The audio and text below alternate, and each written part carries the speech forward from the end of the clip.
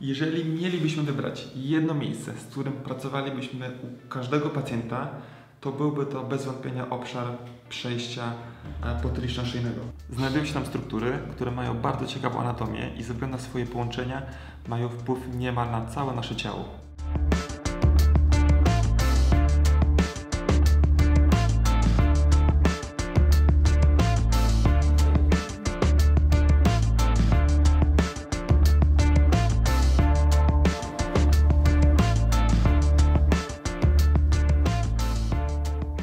Są to cztery mięśnie położone stosunkowo głęboko, które łączą potylicę z pierwszym i drugim kręgiem szyjnym, a także pierwszy i drugi kręg szyjny ze sobą. Już sama anatomia mówi nam, dlaczego warto pracować z tymi mięśniami, natomiast są mechanizmy, które uświadamiają nas w tym, że po prostu z tymi mięśniami trzeba pracować. Z takich najbardziej oczywistych rzeczy jest choćby to, że podczas dnia bardzo często wykonujemy ruch tak zwanej protrakcji i mamy te mięśnie po prostu cały czas w ciągłym skróceniu.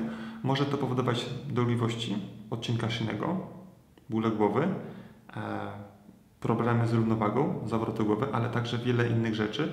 Czyli jeżeli widzicie, że ktoś ma tak zwany zespół skrzyżowania górnego, czyli głowy zajęta w przód, barki e, skierowane do przodu, to na pewno te mięśnie są e, dość mocno obciążane i po prostu to jest już ten oczywisty punkt, że trzeba z nim pracować. Dziś powiemy Wam trochę więcej o anatomii tych mięśni, terapii, jak i autoterapii tego obszaru.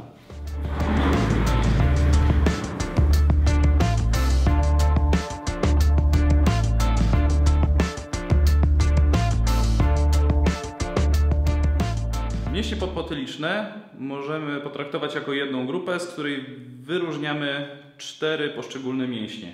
Są to skośny głowy górny, skośny głowy dolny, prosty głowy tylny większy i prosty głowy tylny mniejszy. A teraz coś, czego nikt nie lubi, ale każdy powinien znać przynajmniej w podstawowym stopniu, czyli neurologia. Dlaczego tak bardzo ważny jest mięsień prosty głowy tylny mniejszy? Otóż e, badania wskazują na to, że 1 gram tego mięśnia zawiera aż 36 włókienek nerwowo-mięśniowych. W porównaniu do np. mięśnia pośladkowego wielkiego, który ma tylko 0,7 takiego włókienka na gram, jest to bardzo dużo. O matko, naprawdę? Co to tak naprawdę znaczy?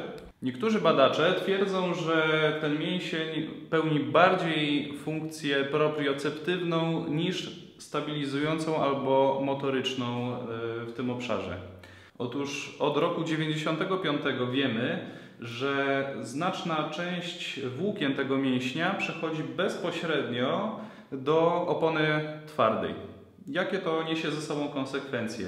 Uważa się, że mięsień ten pełni ważną funkcję pociągania opony twardej w przejściu y, szyjno-potylicznym, przez co może mieć istotny wpływ na takie struktury jak sierp muszczku bądź też namiot mózgu. Jakie to niesie ze sobą kliniczne konsekwencje? Otóż mięśnie te prawdopodobnie mogą być takim kluczem do leczenia innymi takich schorzeń jak e, zaburzenia równowagi, zaburzenia e, widzenia.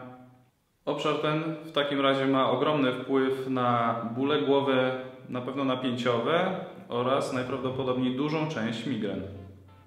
Jak właściwie zabrać się do leczenia tych mięśni?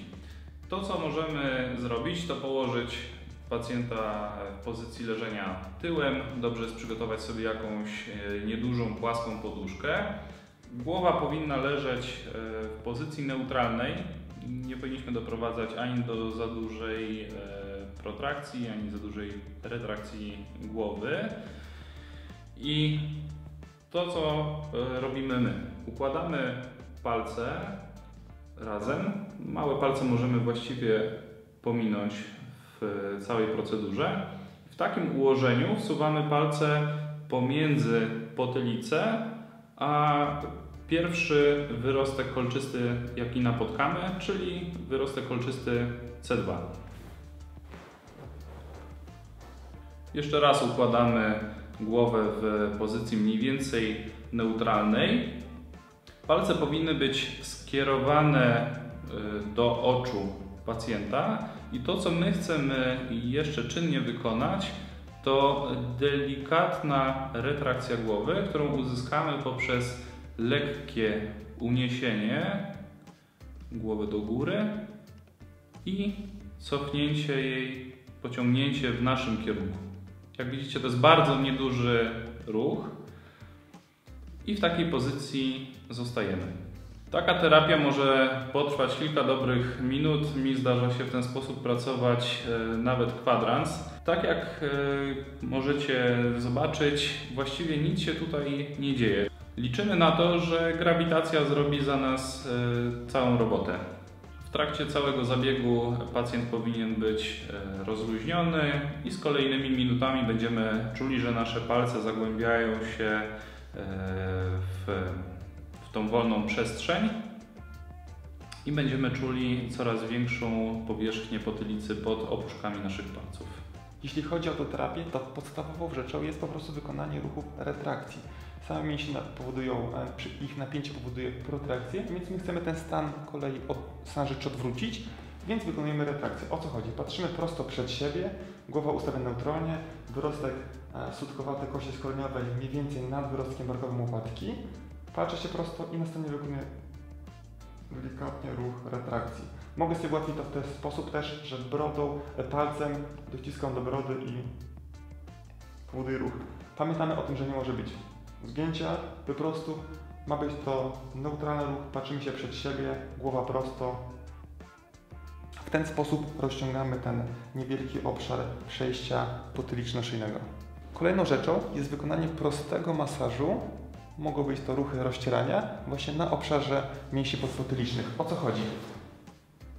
Schodzę nisko, jest tu potylica, zsuwam się z potylicy, jestem właśnie na mięśniach podpotylicznych, szukam najbardziej napiętego obszaru, być może tkliwego, może bolesnego i jeżeli znajdę taki obszar, wykonuję delikatny automasaż kciukami w ten sposób.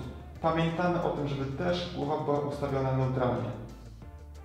Bardzo fajną autoterapią dla tego obszaru jest wykorzystywanie tak zwanego duobala. Można kupić to po prostu w takiej formie, albo też można zrobić sobie łącząc dwie piłki do tenisa stołowego albo piłeczki do e, lacrosse. Tu są dwie piłeczki do lacrosse. I teraz tak, o co chodzi? Kładę się, tak samo jak w przypadku terapii, na plecach, głowa ustawiona neutralnie. E, duobala wkładam pod głowę na przejściu potyczno-szyjnym Staram się rozluźnić, spowodować, żeby moja głowa opadła na piłkę i żeby ten obszar zrobił się miększy. I jeżeli czuję, że już jest wystarczająco fajnie i nie powoduje jakiegoś dużego dyskomfortu, wykonuję delikatne ruchy potakiwania, czyli takie mikrozgięcie. Jeżeli macie e, zbyt dużo, zbyt dużą protrakcję, to warto też ewentualnie włożyć jakąś małą poduszkę, zwinięty ręcznik, żeby ta głowa po prostu nie leżała wyproście podczas terapii. To bardzo ważne. Zachęcamy do pracy w tym obszarze zarówno z pobudek oczywistych, jak i nieoczywistych. Oczywiście chwacić swoimi efektami i po prostu weźcie mięśnie podpotyliczne e, na swój codzienny warsztat pracy. Do zobaczenia.